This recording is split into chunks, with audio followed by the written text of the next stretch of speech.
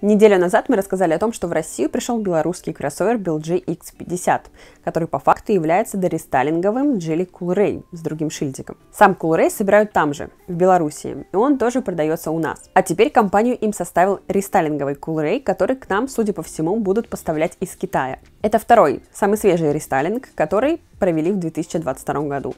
Изменения есть не только снаружи, но и внутри. Например, в салоне появился общий блок приборной панели и экрана мультимедиа. Но более заметное новшество под капотом.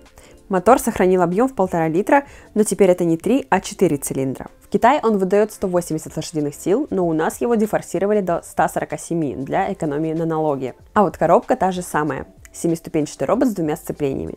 Да и привод тоже только передний. Обновление подняло цену Кулрея примерно на 200 тысяч рублей. Базовая версия стоит 2 миллиона 600 тысяч рублей, средняя 2 700, а топовая 2 миллиона 900 тысяч рублей.